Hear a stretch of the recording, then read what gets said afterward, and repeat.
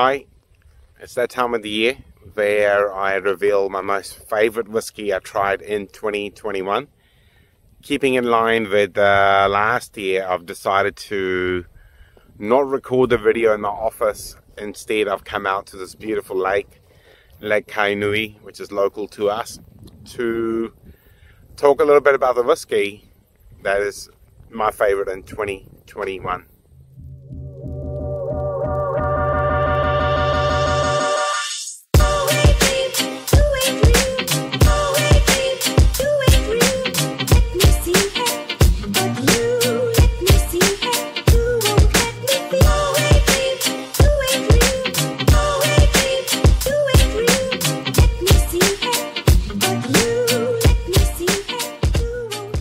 Naming a particular whiskey as my personal whiskey of the year serves real no purpose. All it does is locks it in as a memory in my head as a whiskey connoisseur and a great lover of whiskies as a particular whiskey that evokes amazing emotions because it is a whiskey I like. Every time I drink it, it puts me in a good mood. 2021 um, has been a challenging year to say the least for everyone. In many regards you know we are all still separated because of lockdowns and not able to enjoy key celebrations key moments of life. That's why having a whiskey of the year allows personally me a moment of happiness you know to drink a whiskey that I guess makes me happy. Something I truly like, something I've tried again and again and again. And this particular uh, instance, tried many bottles of it and shared with friends. That's probably the most important part of a whiskey that you really like. Why do I like single cask whiskey so much? I think if you put it into a human perspective and take sports, for example, you know, we are very individual, we're very good or very bad in our respective ways, or we could be a an 8 out of a 10 or a 9 out of a 10 or sometimes 4 out of a 10 on an individual basis. But if you put that into whiskey's terms, you know, and you think of official bottlings like, say, a Glenmorangie 10 or a Glenfiddich 12, you know, all amazing, terrific whiskies which are being married together with hundreds and thousands of barrels over the years and to present to you a unique but consistent whiskey whereas a single cask whiskey in my humble opinion gives you this unique opportunity to try something that's very individual. It's very stand-alone experience in a unique way as I like my whiskies a certain way. I really think single cask whiskies present us with that unique opportunity to drink whiskey from one barrel or one cask and truly appreciate it for what it's worth as a standalone cask rather than been being married with one, two, or tens or hundreds of thousands of other barrels to make it a flat experience. That doesn't necessarily mean I don't like official bottlings. You know, I've drunk a lot of Arran Sherry Cask in the last year, and I've been very vocal about how much I've enjoyed it. But this one in particular, amongst other single cask whiskies I've tried over the last 12 months, have left a deep impression on me an impression that um, makes me happy, like this one.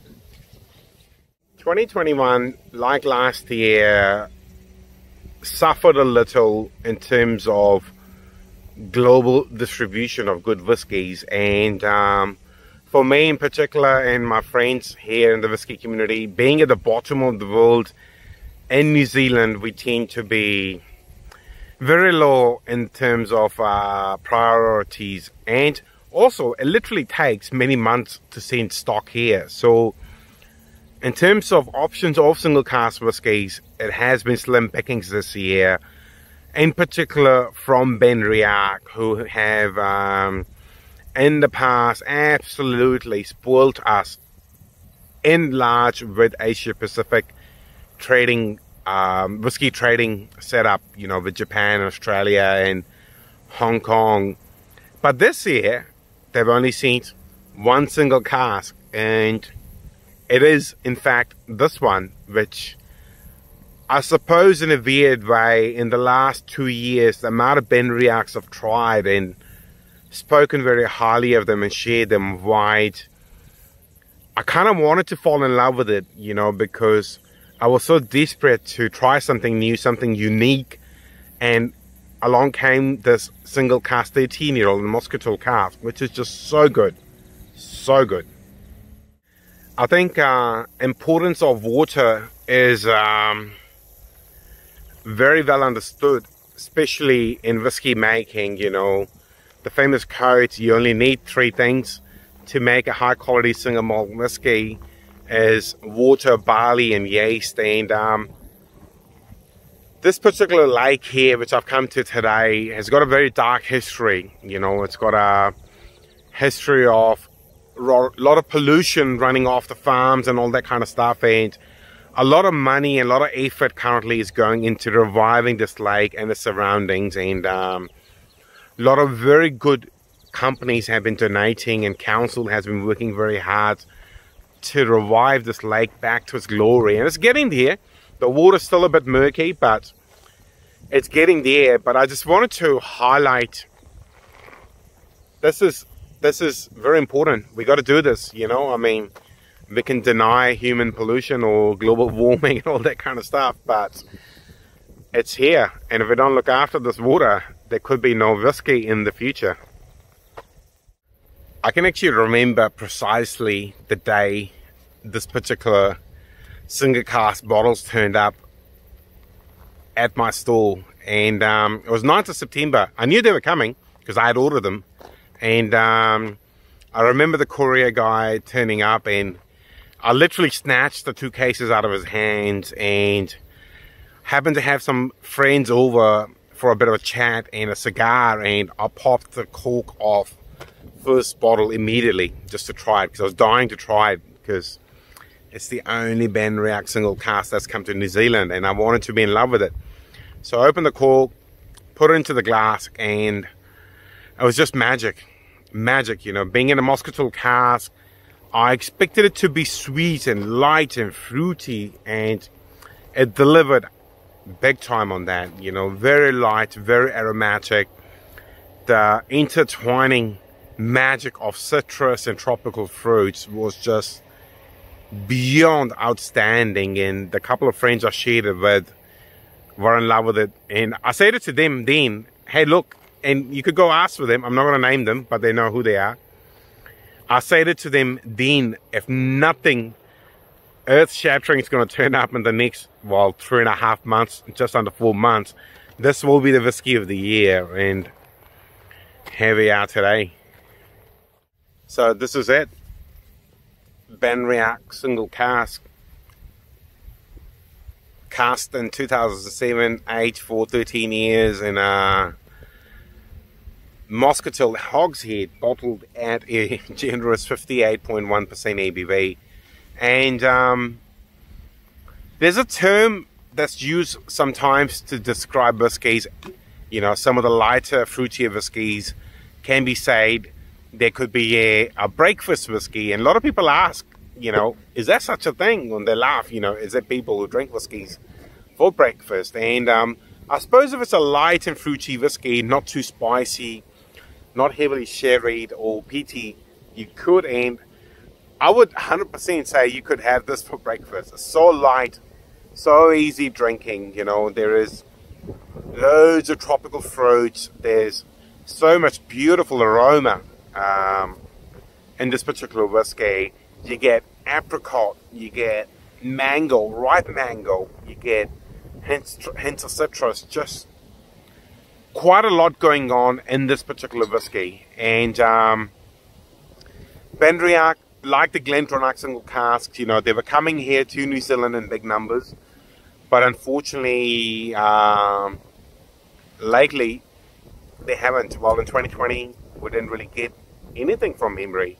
I don't know if it's because of global shipping delays and other issues, but or is just a natural progression for the distillery to maybe put less single cask expressions out and put more unique official bottlings out, which Benriach in particular has gone through a big revamp and you know they have updated the image and the look and feel of the bottles. So it could be part of that as well. I for one would truly miss these rare, unique single cask expressions. For the last about 35 40 minutes I've been walking around the lake with some of the whiskey in my uh, Denver & Liely Traveler glass. And um, it is a hot day and I suppose you know it's warming up the whiskey a little bit. And oh it smells amazing. And you know not just me but a lot of other whiskey connoisseurs would tell you drink your whiskey at room temperature or at least at your body's temperature. That's the most optimum temperature to drink the whiskey you know. More of the aromas on the nose come forward but also on the palate it is that much more pleasing. And this at the moment is just an absolute fruit bomb. The apricot there is a little hint of dry oak just so good and I mean I've shared it with some friends in tastings and everyone's agreed it's just really really good I am deliberately not going to sip this whiskey because uh, as I approached the lake, I saw this big sign, which I'm guessing has been put up because it is New Year's, and it says, no drinking of alcohol at the lake.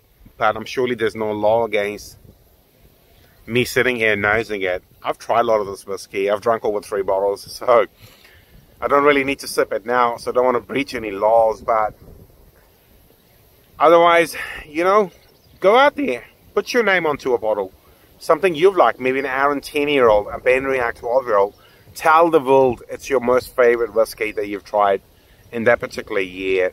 It creates this amazing opportunity to talk it up and share it with friends. And most importantly, whenever you get to try that whiskey again, it it energizes you, creates this amazing energy that makes you want to feel happy. And you know, that's what whiskey does. It's supposed to make you feel happy. And I want to finish on a note by saying I'm probably the most laziest YouTuber in the history of YouTube.